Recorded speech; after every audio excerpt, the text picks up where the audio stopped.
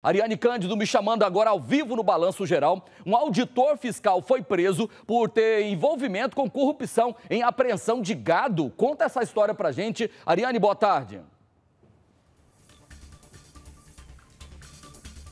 Boa tarde, Oloares. Boa tarde para você de casa que está assistindo o Balanço Geral. Oloares, esse auditor fiscal que estava agindo com malandragem, exatamente assim, em abordagens ali de fiscalização, né, em relação à nota fiscal e outras questões também é, de, de impostos, né. Então, esse auditor ali que, ao fazer a abordagem, ele inventava certas situações e a gente vai entender melhor como que isso tudo funcionava com o delegado que é responsável por essa investigação, Caio Menezes, boa tarde.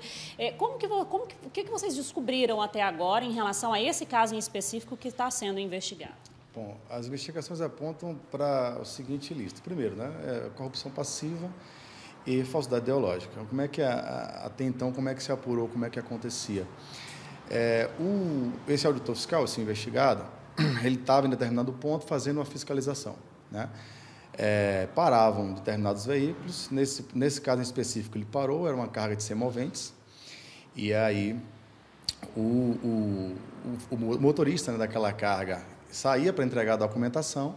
Ele, ele aí pegava essa documentação e dizia que tinha, existia uma irregularidade, que não era de fato uma irregularidade capaz de gerar um termo de apreensão. Só que ele falava para o cara uma coisa, né, para o motorista uma coisa, e colocava no termo, lavrava no termo de apreensão, colocando outra coisa, nesse caso específico, que aquela carga estava sem a documentação fiscal.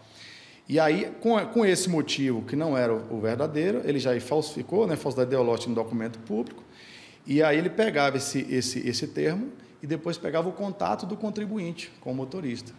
Depois ele entrava em contato com esse contribuinte, certo? Para aí solicitar a vantagem ilícita, né? afirmando que se não fosse dado o, é o que ele estava pedindo e tal, ele iria botar para frente, iria cobrar multas e tudo isso aquilo. Era dessa forma, mais ou menos, que, que, se apurou até o momento. E aí, no caso, vamos supor ali que a multa, né? vamos dar um exemplo aqui, a multa para aquele crime que ele tinha colocado ali, naquela irregularidade, seria de 100 mil, então ele cobrava um valor bem abaixo para poder tirar vantagem disso. Exatamente, exatamente, era exatamente isso. A multa geraria... A multa era correspondia ao valor da carga, por estar sem a documentação fiscal. E aí eles solicitavam um valor muito menor e aquela coisa, é, o que até então era, era negociata realmente, negociando, como é, não existia valores fixos né, até então.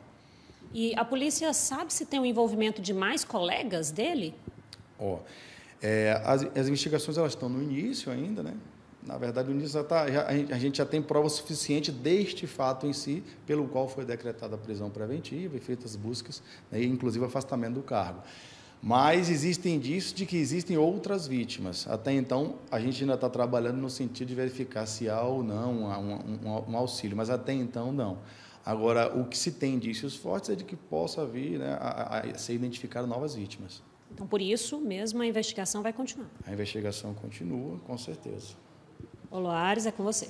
Obrigado, Ariane. Parabéns à polícia. Eu fico triste, né? Nos dias de hoje, parece que a corrupção, quanto mais se denuncia, quanto mais se apura, quanto mais se pune, mais se pratica. Pelo amor de Deus. Obrigado, Ariane.